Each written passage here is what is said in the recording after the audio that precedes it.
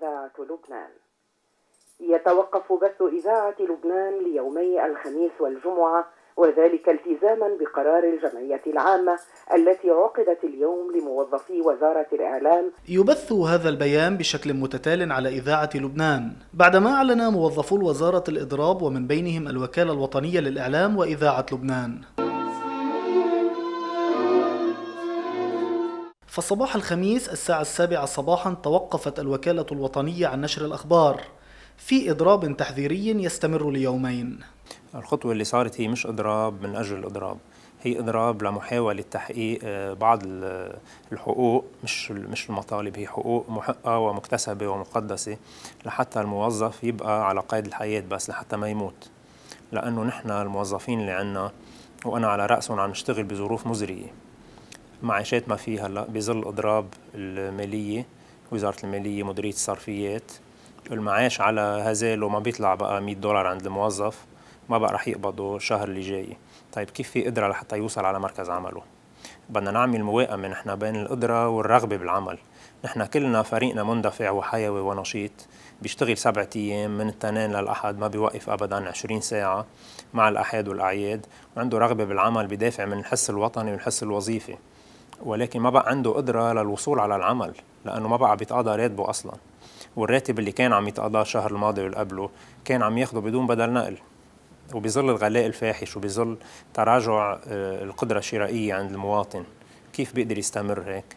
إذا ما تحققت المطالب أو جزء منها الأسبوع المقبل الخميس مساء مثل ما حكينا امبارح بالبيان رح يكون في إضراب مفتوح اعتبارا من الجمعة صباحا. إذاعة لبنان أيضا أوقفت برامجها ونشراتها واكتفت ببث بيان الموظفين إضافة لمقاطع موسيقية. لكن نحن بوزارة الإعلام يا خيي ما عطلنا ولا يوم. ما عطلنا.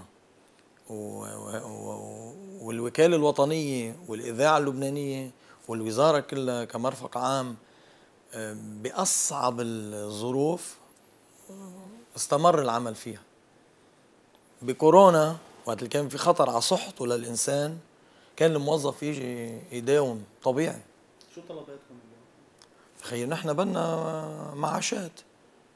بدنا معاشات أه تقدر أه تحفظنا كراماتنا كموظفين. أنا اليوم إذا بدي أقبض معاش مليونين وثلاثة مليون شو بكفيني؟ بكفيني أول أسبوع من من الشهر ما بكفي لأسبوع. طب إذا أنا بدي إجي على وظيفتي آه، يومين. يومين مع إنه بإذاعة لبنان وبالوكالة الوطنية للإعلام في ناس بيجوا أربع أيام وفي ناس بيجوا خمسة أيام.